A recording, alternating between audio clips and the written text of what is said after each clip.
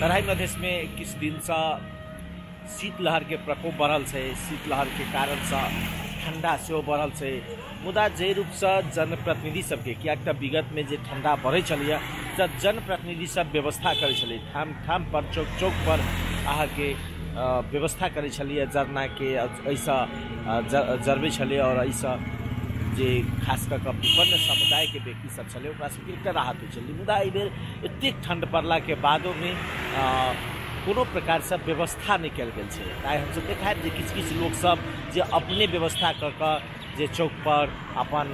एकटा गुड़के व्यवस्था करै छथि आओर गुड़ टाइपके ठण्डी भगाबऽके प्रयास करै छथि। बहुत ठण्डी पड़ि रहल छै जेना जेना तिला संक्रांति बीततै ठण्डी कम हेतै, लेकिन जनप्रतिनिधि हमर सबके जनप्रतिनिधि, ओ जनप्रतिनिधिके जाहि रूपसँ भारके लेल ताम झाम देखबै छै जाहि लेके भारके लेल रुपैआ खर्च करै मुदा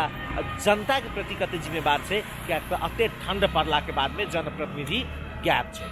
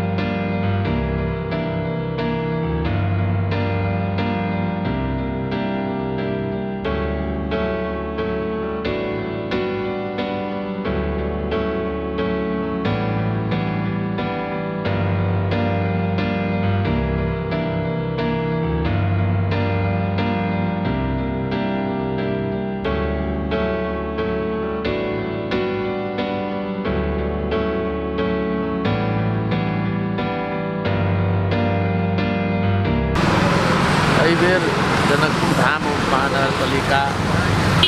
अखन धरि अहाँके कोनो प्रकारके जरनाके व्यवस्था नहि कयल जेना जाड़ बढ़ल है जाड़मे बहुत समस्या है खास कऽ पास कपड़ा लत्ता नहि है ओकरा बेसी समस्या है फिर कपड़ा लत्ता नहि भेलके एकटा आगि मात्र सहारा भेलाके कारणे जनकपुर महानगरपालिका जिला प्रशासन कार्यालय धनुषा विपद व्यवस्थापन समिति धनुषा ई सब एहि बेर जे है से अहाँके कोनो प्रकारके जरनाके व्यवस्था जे है से एखन धरि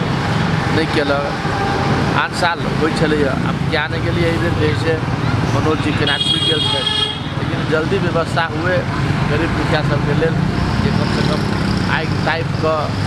जैसे ठंडा फलक के प्रयास करे ठंडा से बाँचऽ के प्रयास करे।